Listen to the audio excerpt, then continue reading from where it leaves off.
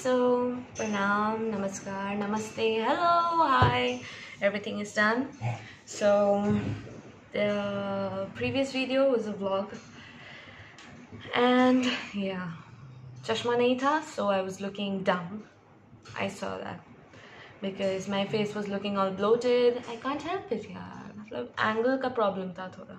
So I decided चश्मा पहन लो यार, चश्मे शो तो चश्मा पहन लो। By the way I I found my lenses oh my god I was doing a deep cleaning just before the day of shoot and I found my lenses I am so happy I be able to wear them I don't know when but hopefully soon because you know lens पहनने के बाद रोना धोना भूल जाओ। वरना गिर जाएँगे। That's so this video will be the experience of going through Zee Bangla's Didi number one. Okay, for others it might be normal, like a very exciting experience, a very unique experience, but for me it was kind of you know. I went there mainly to spread awareness regarding my condition and regarding people like my biological mother who commit crimes and the children unknowingly become victims. So I wanted to spread awareness regarding that and that's all I went there for. Or else I wouldn't have risked getting an attack. Oh my god, no, no, no. I'm not risking an attack just to win some gifts or answer a few questions or appear on TV. Not interested, dude. But if it's concern for the public, yes, I will. So I went and I was basically first I was contacted by a person. I won't name him. Now he's like a big brother. he's a great guy. Uh, unless he would have noticed me, seen me, I wouldn't have appeared in Didi number one. So thank you so much. You know who I'm talking about. It's you. so he called me up. I tried to brief him about my life, but it was difficult. You know, flashbacks come, side effect of CPTSD. so those flashbacks, and so I handed the phone over to my father to complete the rest of my story because it was difficult for me alone to, you know, describe everything, what happened exactly, everything in details. It was practically impossible. So I handed it to my father, and my they did both agreed on something like uh, daddy daughter duo, and so there we were. Uh, he told me a date and time and told me that we were going to appear on Didi number one with the show called Daddy Daughter Duo, and there we were. Site was close to our home, thankfully, and we were there. We were told to bring few saris, kurtis for Baba. It was sherwani or kurta and Nehru jackets and whatnot.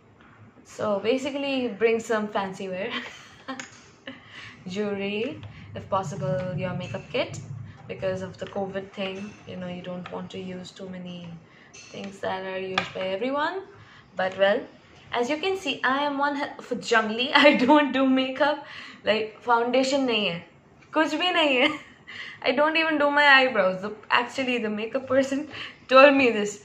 So my eyebrow got out and I'm like, আমি করাই না I, I'm suffering from a damn disorder dude I don't have time for eyebrows and stuff anyway I've, I've got good looking eyebrows why should I go even I'm scared of beauty parlors I'm being completely honest I've never been to a beauty parlor and I'm shit scared of going to one because kind of because of my mom I am a bit afraid of women yet there I was in a woman's show I was feeling like, what are you playing at, God? What are you doing with me? Women's show? And I'm afraid of women. Okay. oh my god. That was so funny. but as long as you know awareness goes i can stretch it up to whatever limit i can so i went we sat there for some time and then we went up. We went upstairs and there we sat once again for quite some time. And I went there wearing this big heels and I'm not used to wearing too big heels. Like I don't wear heels. I normally wear sandals or you know what we call in Hindi chappal. Chappal ya choti in Bengali sandals flip flops slippers I normally wear those when I go outside heels are like last priority for me but I had this much knowledge that if you're not too tall, like I'm five feet five, so you should wear heels when you're wearing a sari. And I somehow knew that they aren't going to let me wear my kurti and they are going to make me wear a sari. So I wore heels and went there. And one more shock that I got that day, the just the the day before packing up, you know, for the show I thought I, my blouses fit me, and when I tried on every blouse, none of them fit me. Then I realized that oh my god, I've gained fat in my arms, and I'm saying it here on public. I have no problem because I know that later I did a research online and found out that these psychiatric drugs have a tendency of weight gain and it happens to everyone. So i realized okay i have to use the oldies you know what? The cotton spandex elastic you know those blouse pieces that are free one size free size one size fits all it's like that. And so my beautiful decorated blouses they went for a toast they stayed in my almirah i got the shock of my life because I was doing a lot amidst all this to try and stay in shape. Yeah, I am in shape, but you know, when you worked so hard to maintain your weight for three years and all of a sudden one disorder just topples the weighing scale to I won't say how much, but it's kind of very shocking. So, went there, waited, waited, waited. They first did my makeup and I was a bit, you know, skeptical because normally you are told to wear your clothes first, then your makeup, because your makeup is going to get all smashed. And what is it called? I forgot the term. It's going to get all, you know, whatever. Basically गंदगी हो जाएगी यार मतलब कपड़ों पे लग जाएगा and oh my puppy is looking so cute in the video that's Bella good good so I got a bit uh, skeptical that what is happening why are they putting the makeup first and it was like hell I'm never getting my makeup done by others Seriously, I'll always do my makeup on them unless I trust the person who is doing it completely. And that person was constantly just spraying and dabbing stuff on my face. I know what a primer is, I know what a concealer is, I know what a foundation is, and I know how to use them because I have used them. I've been to parties, and I'm not like a complete sociopath who has never been in social uh, arrangements and who has never been outside. I'm not like that. I've been outside. So I know how to dress up. I can click good pictures of myself. I know how to do makeup on my own. But this person had this huge row of types of compact. And i was like you know person has only one skin shade not so many but he was using uh, what should i say? A wet cotton pad sort of a thing and then just rubbing it rubbing it rubbing it and then smudging it on my face like this like i'm getting punched on my face or something.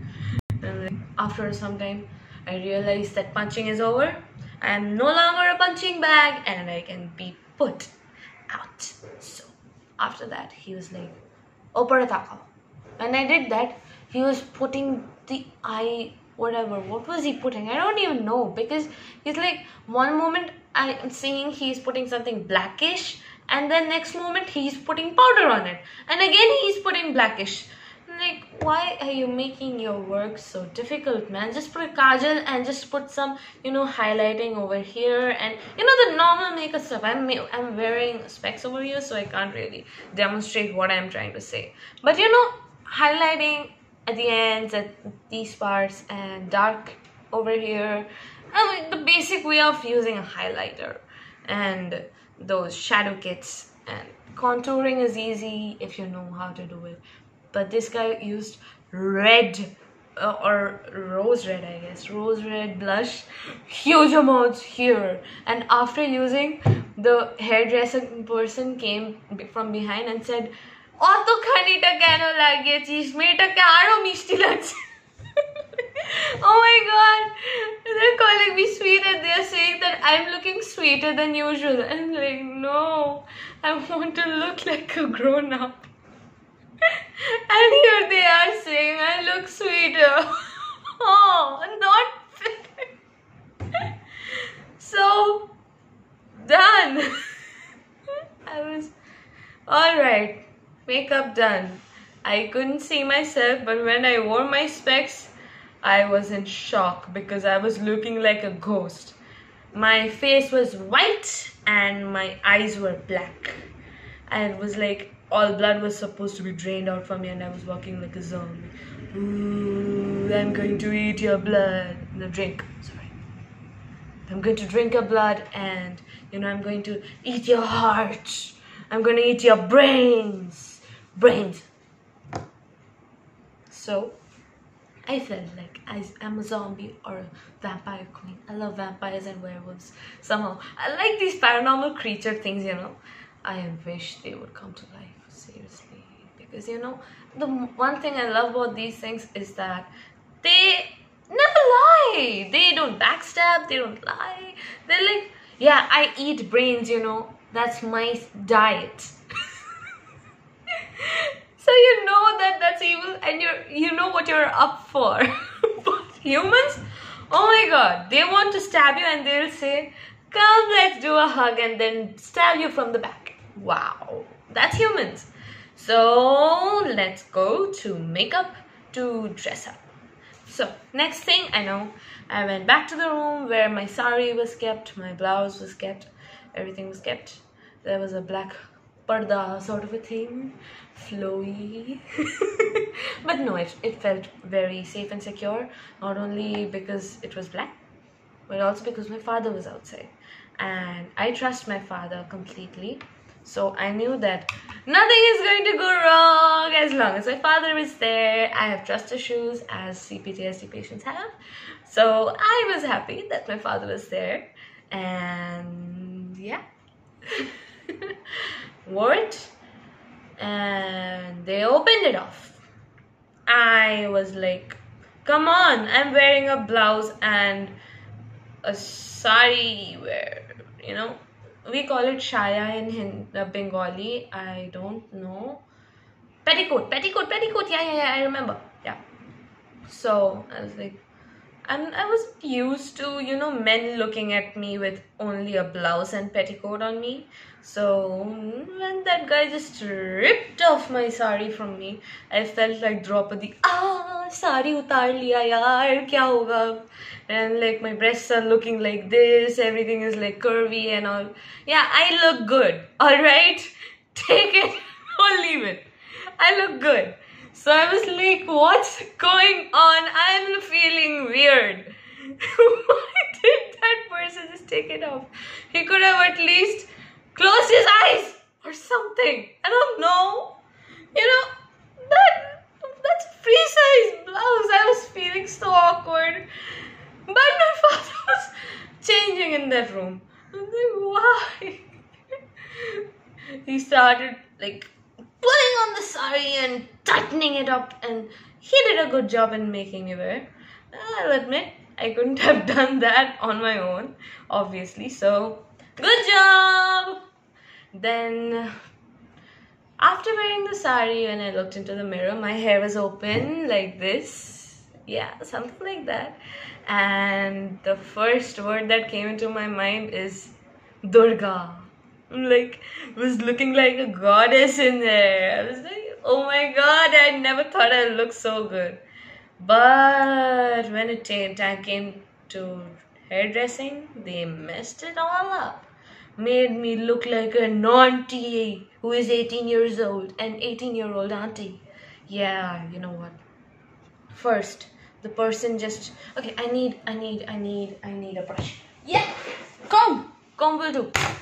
Okay, so I'm gonna show you what they exactly did. Alright, they first did this, this, this, and then they told me just untangle your hair.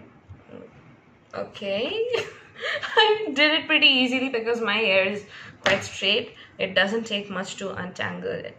So I untangled it within a few minutes, two minutes, and then she came. Okay, pulled on my hair, done.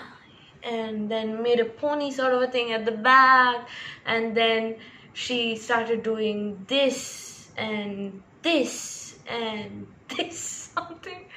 Okay, so basically, what she did was, you know, make this and this and this making sure it was visible and then puffed it up and did something like that from this side to this side and then she showed the person who was elder to her like a senior sort of a thing and told her that like you know how is it looking?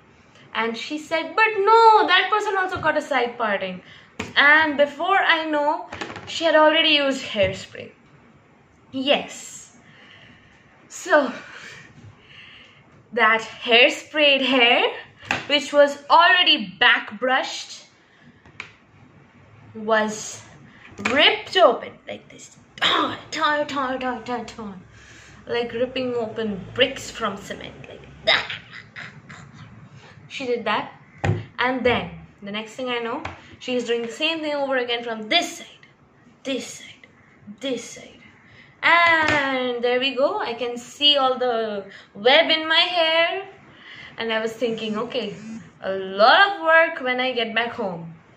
First thing I'm doing, apply shampoo on my head because I had no idea how to remove hairspray and I was so, so, oh my god, who is calling? Can't care. So, I was so upset and I was so tired that I just like drop all internet shit and just apply shampoo. Keep it there, have dinner, have to work and just you know wash it off and do shampoo once again later when you're taking a bath at the night